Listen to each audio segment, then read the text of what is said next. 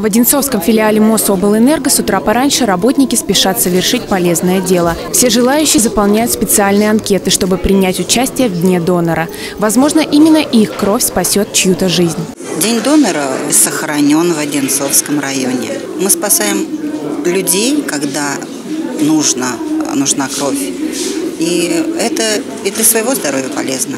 Донором крови может стать любой гражданин России, достигший 18-летнего возраста и изъявивший добровольное желание. Сама процедура сдачи крови достаточно быстрая и несложная.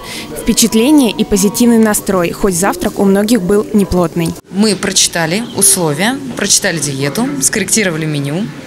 Поэтому с утра пришли на завтрак с овсяной кашей на воде из пачка печенья про запас на уже после того, как сдали кровь. Среди работников есть те, кто уже не первый раз принимает участие в таких акциях. Я уже не первый раз участвую, а принимал участие в других компаниях.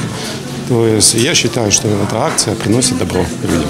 Желающим пополнить ряды доноров необходимо соблюдать некоторые ограничения накануне процедуры. Сегодняшняя акция это приурочена к новогодним праздникам, создать запас компонентов крови для Одинцовского района.